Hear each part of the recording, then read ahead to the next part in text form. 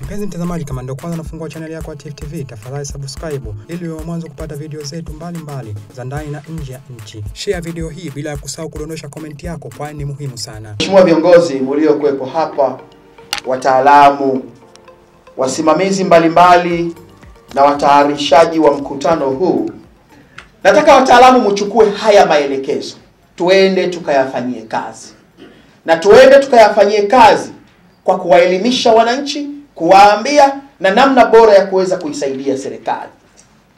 Kama mnavyojua kwamba the issue of blue, green, organic and other kind of carbon haiko maarufu sana Tanzania, lakini wataalamu sasa, tuleteane wataalamu kwa wingi, maana sasa watu wa vyuo vikuu huko wahadhiri, hemu hili somo tulipeni nguvu kidogo, ili wataalamu tuwapate wengi, waje walisaidie taifa hili.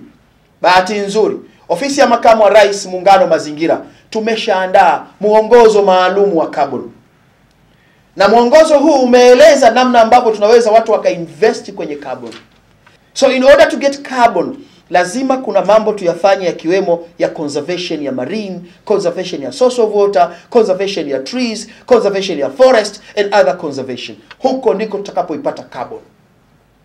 Still there are some people they don't know. They think cutting a mangrove is part of their responsibilities. Na mtu ukimwambia usikate mti anakuambia sasa nitapikia nini? Nitajengea nini? Nitafanyaje nini? It means anahisi kukata miti, mikoko na miti mingine ambayo tunaweza tukavuna carbon ni sehemu ya wajibu wake. Kwa hiyo ukimwambia anaona unamkosea. Una, una so what are we supposed to do? Our role, responsibility ni kwenda kuwafundisha wananchi. Kwa hiyo tuchukue hili jukumu, kama tumeandaa hii seminar, tumeandaa hii workshop, tukitoka hapa tuwe mabalozi wa kwenda kuwaelimisha jamii. Masuala ambayo tunaenda kuyazingatia sana ni kuhusu hali halisi ya mazingira katika maeneo haya yanayozunguka bahari ya Hindi, na hii ni katika ule muktadha wa uchumi wa bluu. E, tunataka tuone jinsi ambavyo utunzaji wa mazingira na uhifadhi wa mazingira unaweza kuchangia katika uchumi wa bluu katika haya mataifa ambayo yanazunguka e, bahari ya Hindi. Kwa ujumla e, huu umoja una nchi takriban 32 lakini kwa leo tuna ushiriki wa nchi takriban tisa ambazo zimekuja na tutakuwa na siku mbili za majadiliano na kwa kweli tunachotaka kwenda kuangalia sana ni namna ambavyo tunataka tukaangalia fursa zinazopatikana kwenye uchumi wa bluu ili kuchagiza kwanza e, maisha ya wananchi, uchumi wa wananchi ambao wako maeneo hayo, lakini pia kuzingatia sana matakwa ya maendeleo endelevu ili e, zile huduma ambazo zinapatikana katika uchumi wa bluu ziwe ni endelevu kwa ajili ya kuhakikisha kwamba uchumi wa wananchi unakuwa mzuri, lakini pia mazingira yanahifadhiwa.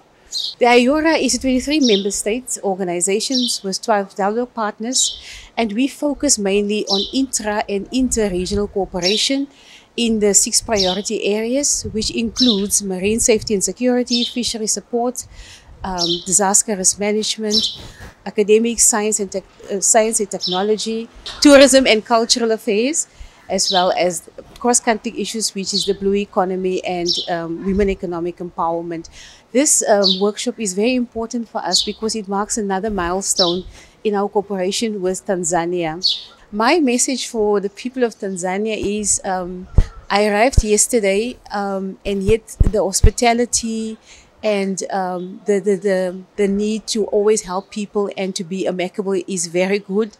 What I want to say to Tanzanians, keep doing what you're doing.